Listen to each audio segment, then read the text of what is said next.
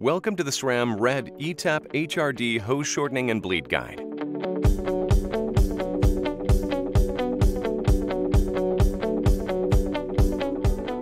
You will need common bicycle maintenance tools, as well as some specialty tools and supplies. View a full list of tools and supplies in the video description below, or go to sram.com forward slash service for more information. To skip directly to the bleed procedure, click this link. Otherwise, continue watching for both hose shortening and bleed instructions. Fold the hood cover forward. Use an 8mm flare nut wrench on the compression nut and a 10mm open end wrench on the valve body to loosen and remove the compression nut and hose.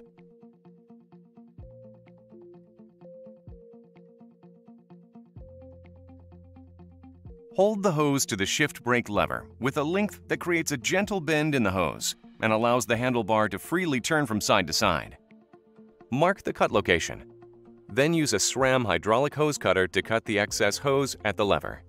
Do not cut the hose at the caliper. Cutting the hose introduces air into the brake system. You must bleed the brakes to ensure optimal braking performance. A small amount of dot fluid may drip from the hose when it is cut. This is normal Immediately clean any dot fluid that comes in contact with painted surfaces with water and a rag. Apply dot-compatible grease to the hose barb threads. Use a T8 Torx wrench to thread the Stealth-O-Majig hose barb onto the hose until it is flush with the end of the hose. Do not over-tighten the hose barb. Over-tightening may cause damage to the hose liner. Thread the compression fitting over the hose barb counterclockwise until it is flush or slightly lower than the hose barb. The compression fitting is reverse threaded. Apply dot-compatible grease to the compression fitting and the compression nut. Install the hose into the valve body while threading the compression nut by hand. Use a 10mm open-end wrench to hold the valve body in place, and use an 8mm flare nut wrench to thread the compression nut into the valve body. Use a torque wrench and an 8mm crowfoot wrench to tighten the compression nut. Fold the hood cover back.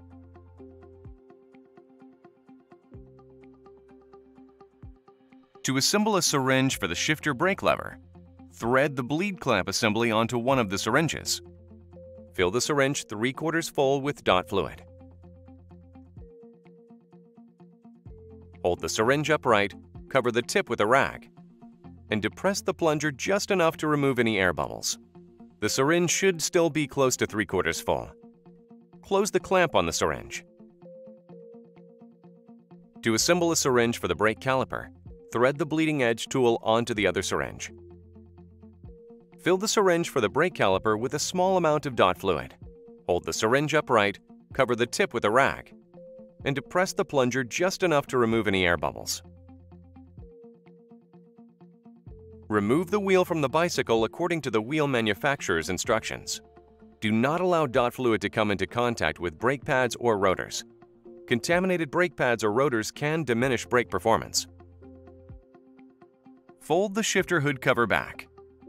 Use a 5mm hex wrench to rotate the contact adjust counterclockwise until it stops.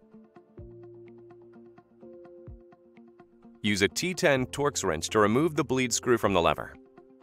A small amount of fluid will come out of the bleed port. Immediately clean any dot fluid that drips with water and a rag. Thread the 3 quarters full syringe into the shifter brake lever bleed port.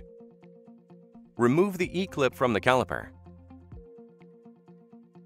Use a 2.5 mm hex wrench to remove the pad retainer bolt. Remove the pads from the caliper. Install a bleed block into the caliper. Then reinstall the pad retainer bolt. Remove the bleed port cover. Use a 4mm hex wrench to loosen the bleed port valve 1 quarter turn, then gently retighten the bleed port. Push the syringe with the bleeding edge tool attachment into the bleed port until you hear and feel it click into place. Rotate the bleeding edge tool attachment counterclockwise one complete rotation to open the system. Open the clamp on the syringe at the brake lever. Hold the syringe vertically and gently push the plunger down, stopping before air enters the syringe hose. fluid will fill the syringe at the brake caliper. If the fluid in the syringe at the caliper is discolored, push all of the fluid out of the system. Restart the bleed procedure with new fluid in both syringes. Hold the syringe at the caliper vertically while slowly pulling the plunger at the lever upward to draw fluid from the syringe at the caliper. Stop before air enters the syringe hose at the caliper. Repeat these steps of transferring fluid from one syringe to the other until only a small amount of bubbles appear in the syringes. Rotate the bleeding edge tool attachment clockwise until it stops to close the system. Squeeze and release the lever blade. Hold the syringe at the lever vertically. Firmly pull up on the plunger to create a vacuum. Then compress the plunger to pressurize the system. Repeat these steps several times until only a small amount of bubbles exit the system. Compress and release the plunger once more to equalize the system. Remove the syringe at the lever from the bleed port. Clean any dot fluid that drips from the bleed port with water and a rag. Use a T10 Torx wrench to tighten the bleed screw. Then use a torque wrench and a T10 Torx bit socket to tighten the bleed screw. Wipe away any dot fluid that drips from the bleed port with water and a rag. To remove the syringe with the bleeding edge tool, pull straight back from the caliper. Do not rotate the bleeding edge tool while removing. Use a torque wrench and a 4mm hex bit socket to tighten the bleed port. Reinstall the rubber cover into the bleed port. Spray water on the brakes and clean them with a rag. Remove the pad retainer bolt and remove the bleed block. Reinstall the brake pads into the caliper. Then reinstall the pad retainer bolt and the E-clip. Reinstall the wheel according to the wheel manufacturer's instructions. Squeeze and release the lever blade three times to advance the caliper pistons. On the first squeeze, the blade will come to the bar while the pistons advance. This is normal.